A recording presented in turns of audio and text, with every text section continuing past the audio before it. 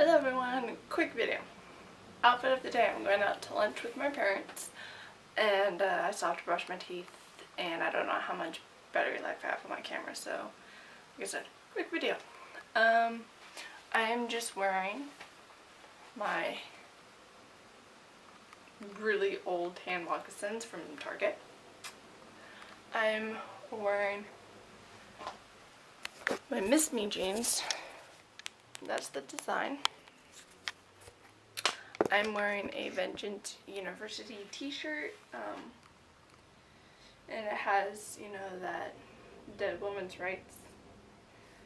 Um, Vengeance University, if you're a fan, if you're a fan of Avenged Sevenfold, it's Zacky Vengeance clothing line. So, um, it's called Venge.com. V-E-N-G-E-N-Z.com.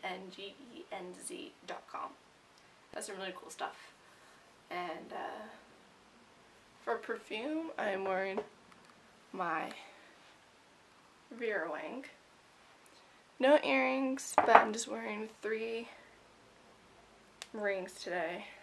And uh, yeah, so I'm just going to grab my phone, my sunglasses, go brush my teeth, and then go have lunch somewhere, which I don't know where we're going. So that's it. I hope you guys have a good Thursday. Bye.